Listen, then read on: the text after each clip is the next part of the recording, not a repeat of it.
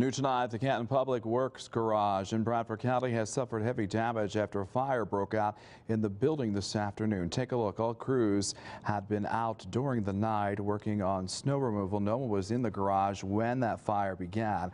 Uh, the structure had just been newly renovated with new a new roof and insulation. Two of the departments there, uh, three snow plows were destroyed, including the newest one they purchased in 2019. The cause of that fire has yet to be determined.